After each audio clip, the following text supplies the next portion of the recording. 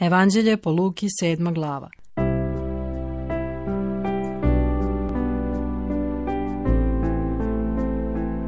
Isceljenje kapetanovog sluge.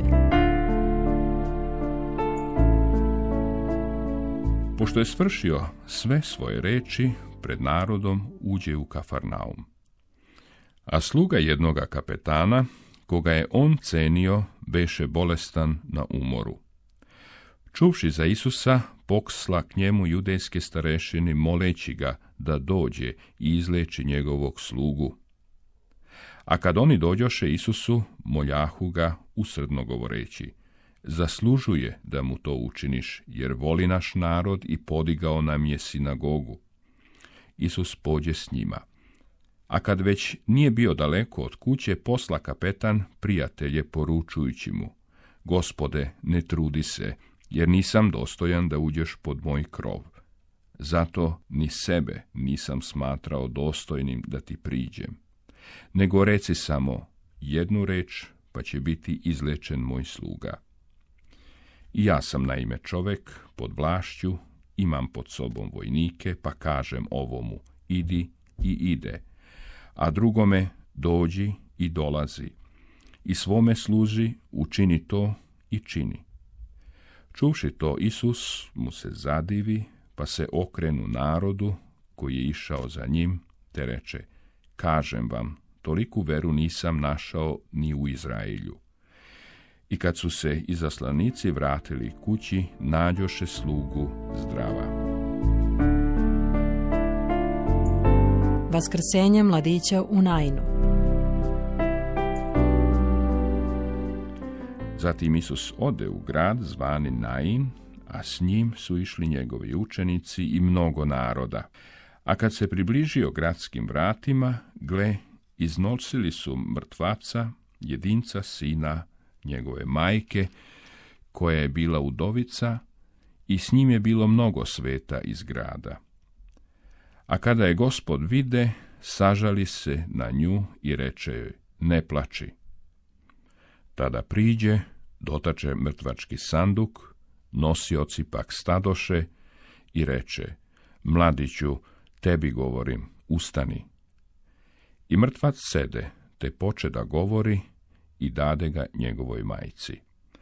A strah je obuzeo sve, pa su slavili Boga govoreći, veliki prorok se pojavio među nama i Bog je posjetio svoj narod i raširi se ovaj glas o njemu po svojoj ideji i po svoj okolini.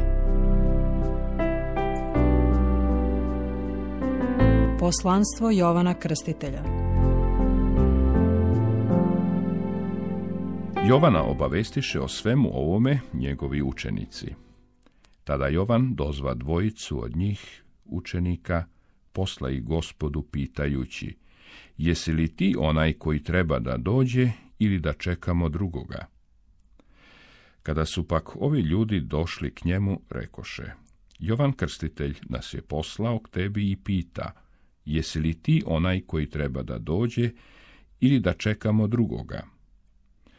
U taj čas je izlečio mnoge ljude od bolesti, muka i zlih duhova i mnogima slepima darovao vid.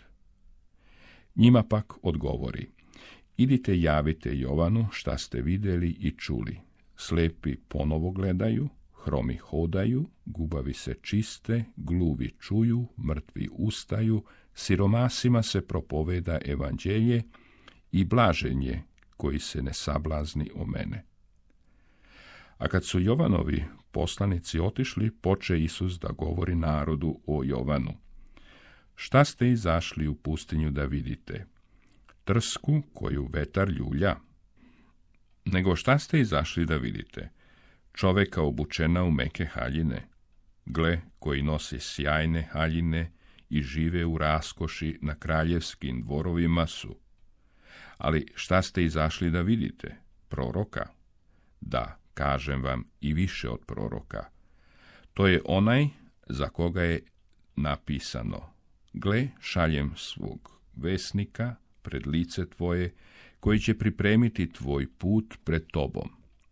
Kažem vam, među rođenima od žena, niko nije veći od Jovana, a najmanji u carstvu Božjem veći od njega. I sam narod koji je čuo, pa i carinici, priznaše pravednost Božju, te se krstiše Jovanovim krštenjem. A fariseji i zakonici odbaci se ono što je Bog teo da učini s njima i ne primiše njegovo krštenje. S kim ću dakle uporediti ljude ovog naraštaja? I na koga liče? Oni su kao deca koja sede na trgu i dovikuju jedni drugima. Svirali smo vam i niste igrali, kukali smo i niste plakali. Došao je naime Jovan Krstitelj, nije jeo hleba, niti je pio vina i kažete, demon je u njemu.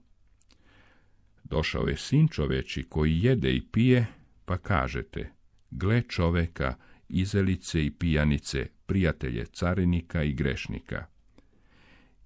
I opravdaše mudrost sva dela njezina. Skrušena grešnica Jedan od fariseja molio ga da jede s njim i ušavši u farisejevu kuću leže na trpezu.